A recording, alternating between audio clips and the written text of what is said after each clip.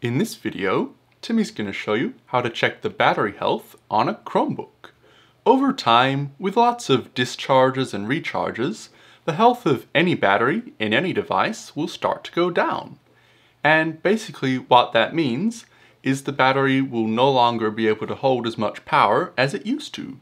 Therefore, you won't be able to use your Chromebook for as long on a single charge.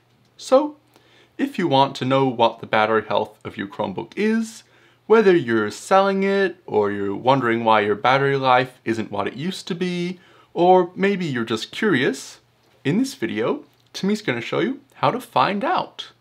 On your Chromebook, all you need to do is click on this circle button in the bottom left hand corner to bring up this menu here and then in this search bar up here start typing diagnostics. So if you just type DI maybe A it should come up here so under apps diagnostics and you just need to click on that.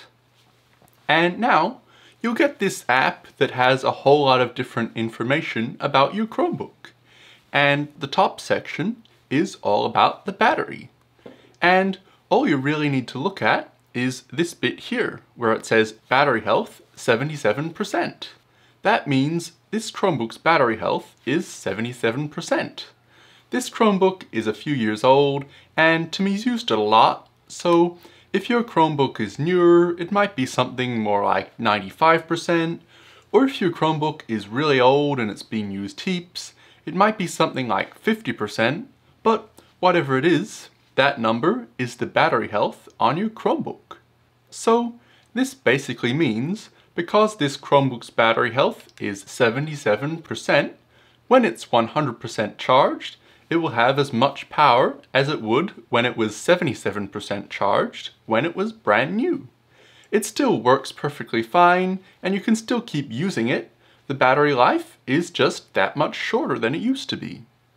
While you're in here, you can also see some other details if you're interested, like the cycle count, which is basically how many times the battery has been fully charged and discharged, and the current, which is how much power the battery is currently outputting or receiving. And you see the size of the battery up here.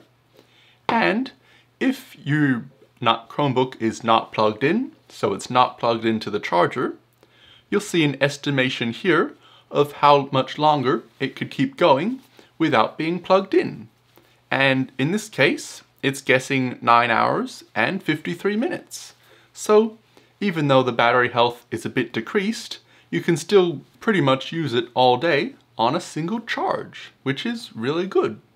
But that's really all there is to look at here, so once you've seen everything you want to see, you can close this window, and that's all there is to it.